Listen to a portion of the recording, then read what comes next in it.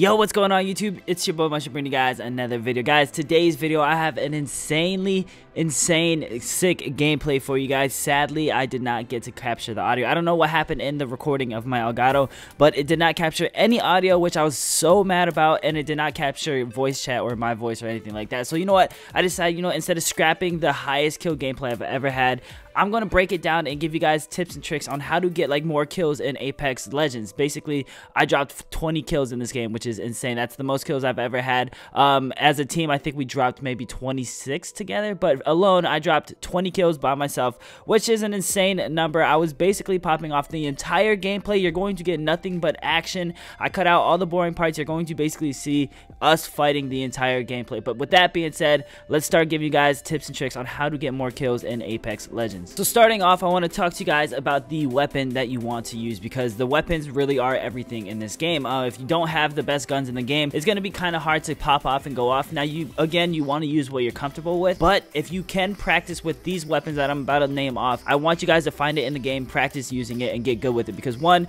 the Wingman is by far the best gun in the game. Uh, just even though it shoots very slow and you have to actually hit your shots really good, it does 45 damage to the body and almost over 100 to the head uh, from long range range, close range, it doesn't matter, which is insane. This gun is extremely powerful. I think the, the sniper only does like 50 something damage, which means that this wingman is doing basically almost as much damage and it has a faster fire rate and it's just got more ammo in the clip. So, especially if you throw on extended mag. So, if you're good with the wingman, that is the go-to gun that you guys want to use. Now, I know a lot of people aren't really good at single fire guns because you really have to hit your shots and be able to have a good aim to hit your shots with the wingman. So, if you're not good with it, I covered this in one of my other videos. The 301 is one of the other best guns in the game. It's a fully automatic rifle it's a freaking good gun. The gun is probably, it's extremely fun to use as well, just because if you're hitting a lot of your shots, you just see numbers popping up as hit markers, which is, it, it just looks insane. It looks like you're popping off and stuff like that. So if you're good with the 301, use the 301. The only thing about that gun is you need to find a extended mag because the clip runs out extremely quick. So if you don't have an extended mag, you're going to be reloading your gun a lot. And in this game, for some reason, without extended clips on any of your guns, you're going to catch yourself reloading a lot of the time. So make sure that you're actually giving callouts to your teammates and letting each other know like, hey, there's an extended mag over here if you need it for this gun or that gun. So communication is the next thing that I want to talk about. As you guys can see, me and my teammates, we're, we're all playing this very good. We're playing aggressive, and that's because that's what I really, the playstyle that I like to do is aggressive. As you can see, my teammates are giving them heavy fire from a distance, and then I'm the one always pushing up, getting aggressive, getting in their face and stuff like that because I trust my shot, and I also have the ult ability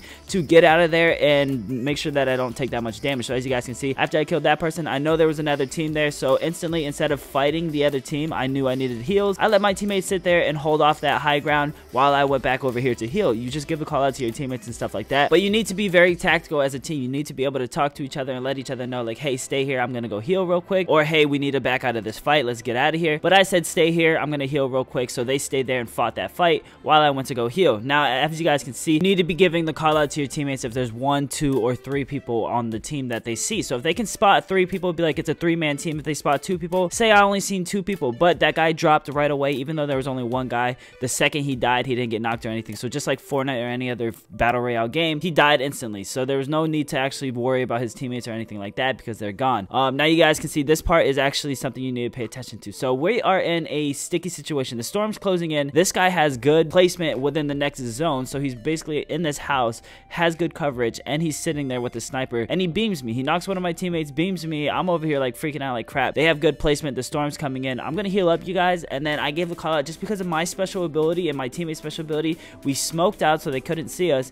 And then I used my special ability to try to go invisible and get our teammates out of there without being seen. So I used my teleportation or the little rift thing, go invisible, and then I ran over here where there's a little bit better cover. And I used it so my teammates can actually get out of that little corner area. And now we're in the circle. So now we're not stressed out too much over there needing heals and stuff like that. And we basically just cleaned up. We all hit our shots and we killed people. And we pushed up perfectly as a team. So teamwork is very huge if you want to drop high kill games or even get a victory royale in this game. Now my go-to supports that I would like to use on my team or people that I would like to have on my team is me, one, the invisible guy because I can always flank. I can go invisible, flank teams, give them pressure from behind or I can get out of there if I'm pushing alone or getting too aggressive with people. So again, going invisible and helping your teammates get out of situations like that is a good ult ability. It doesn't just help me, it helps my teammates as well in sticky situations. Another good person, specialist, whatever you guys want to call him, champion that I would would use for a team is the smoke girl. I don't know exactly her name, but she shoots out smokes. Um, she's very good at if your teammate goes down or something like that, you can have somebody smoke out where that teammate is and have somebody pick them up because they're usually not visible through the smoke or anything like that. So the smoke is very, very good at getting out of sticky situations. And again, sometimes in this game, you are going to get yourself into positions where you're not going to be able to win every gunfight. You're going to have to get out of there. So smoking it out and dipping at the right moment is probably the best thing to do. And then for the last specialist ability, we like to have a medic, somebody on the team that can heal and stuff like that. So she revives a lot quicker. So if anyone gets knocked, I'm usually the one that pushes up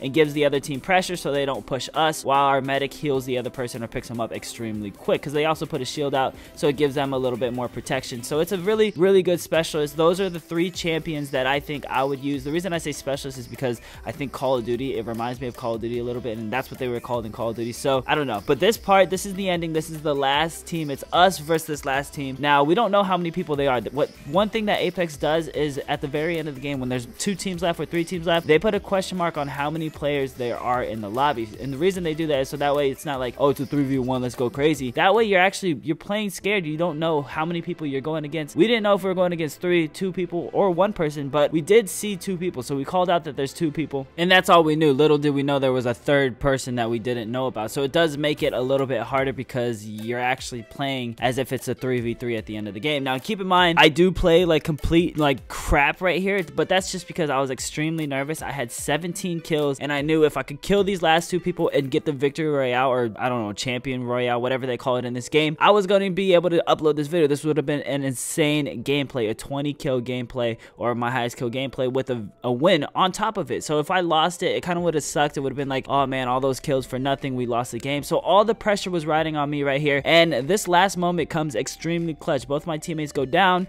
and it's basically up to me to kill all three people. So things do get crazy. I do miss a lot of my shots. I was super nervous. I had two of my roommates in my room with me watching, so they were like spectating in real life, and I was just like, yo, so much pressure is on my head right now that I was just playing really, really bad. But we still pulled off the win, which is insane. But as you guys can see, we know that the other team is over here on this side of the map. We know that they're over there. Um, we have the circle advantage, so instead of just sitting there bunched up all together, we're each watching our own sectors. So one's watching middle, I was watching far left, and somebody was supposed to be watching this far right, but nobody was over here, so I was like, you know what?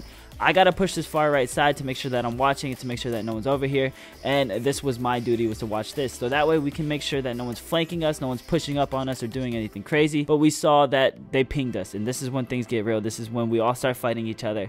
Um, they mark it out. One of them's over there. I think two of them are actually over there. And one of them, we only thought there was two people. Right here's where we find out that there's actually three people in this game. And not only do they have us cornered where one got behind us, they're to actually eventually knock one of our teammates or get him extremely weak. So while he's healing, he's getting shot at by the guy that's flanking, and now we're freaking out. We're like, oh crap, this is this is actually real. This is happening. So he smokes out. We decide to push back. Here's the third guy that we see. He's back there trying to flank. I'm missing all my shots, but luckily he had no armor. I saw that I was hitting for white health, so I challenged him. I should have, if he had gold shield or anything like that, I probably would have maybe went invisible and got behind him or something. But he had freaking white House, so I was like, you know what, he's super weak. Let me just go ahead and light him up real quick. And here's where exotic motion misses every single shot he possibly can take. Now, keep in mind, both my teammates are down. It's a 1v2. I'm the last one alive. I don't have that much shields, anything like that. These guys are pushing us, getting aggressive. I'm freaking out, man. So I knocked this guy. Luckily, he was one shot, and then it's a 1v1 situation, and this is where the shots just go off. I'm hitting him for purple, so I know he has shield. My teammate is going clutch right there. My boy, Exotic Boost, literally holding his freaking shield in front of me, taking a lot of the cover fire. He was literally taking a lot of the damage for me because he sat there in front of me with his shield. That's a pro tip that you guys need to actually pay attention to. If your teammate goes down, because when they go down, they can actually open up their shield, have them get in front of somebody if they can and shield up so that way they can crouch behind you maybe and maybe protect themselves but that's basically the end of the video you guys as you guys can see i went off 20 kills 2618 damage my teammates had four kills two kills and around a thousand damage each which was an insane game i definitely did pop off for the team it was an intense gameplay where it was nothing but action the entire time but guys if you please can give this video a thumbs up i want to bring you guys more tips and tricks i'm still trying to get better at the game but i i, I honestly believe eventually I'm going to be able to give you guys pro tips. Uh, so far, they're just they're just good tips and stuff like that. But I'll see you guys in the next video. Peace.